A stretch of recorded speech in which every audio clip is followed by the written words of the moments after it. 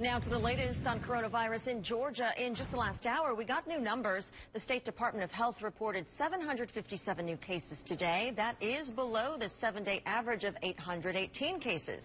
However, there were 23 new deaths, which is higher than the seven-day average of 18 deaths. And we are working each day to put these numbers in perspective for you.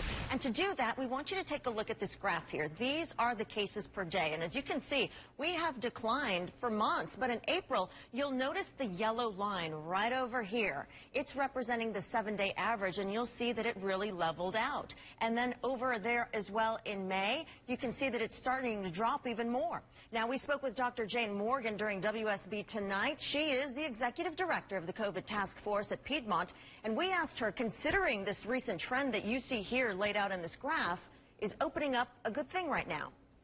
It is. It's a good sign for both humans and the viruses. The humans have an opportunity to go and have a little bit more freedom, and the viruses have an opportunity to go and find people who are not being careful and find more hosts and continue to replicate. So it's an opportunity for both of us. So we need to certainly be careful and not let our guards down.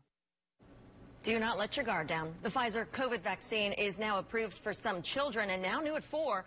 Local doctors explain why timing is so key.